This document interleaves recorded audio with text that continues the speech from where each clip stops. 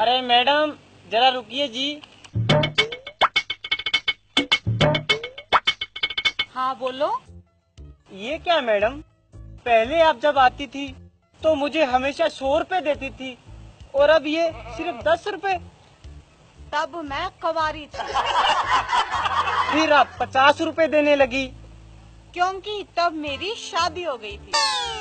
और उसके बाद पच्चीस रुपए। क्योंकि तब मेरा एक बच्चा हो गया था। और अब सिर्फ़ ये दस रुपए? क्योंकि अब मेरे दो बच्चे हैं तभी तो तुम्हें दस रुपए दे रही हूँ।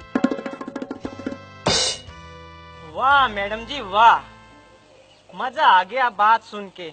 इसका मतलब आपके पूरे परिवार का खर्चा तो मेरे पैसों से चल रहा था। क्या कहा फिर से कहना? चलो छोड़ो मैडम जी रहने दो। मैं तो सुबह से भूखा बैठा हूँ। आपका घर तो सामने ही है। मुझे दो रोटी ला के दे दो। भगवान आपका भला करेगा। देखो अभी तो मैं बाज़ार जा रही हूँ। बाद में आके ले जाना। कोई बात नहीं मैडम। आप मेरा नंबर ले जाओ। और मुझे मिस कॉल कर देना। मैं आकर ले जाऊँगा।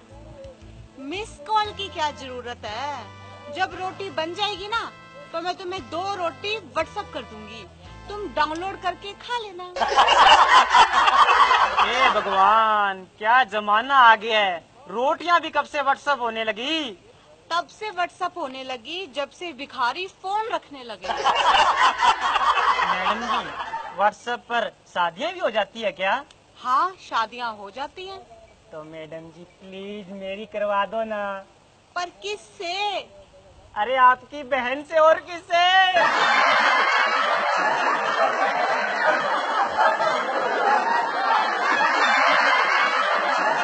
सारा ऐसा मैंने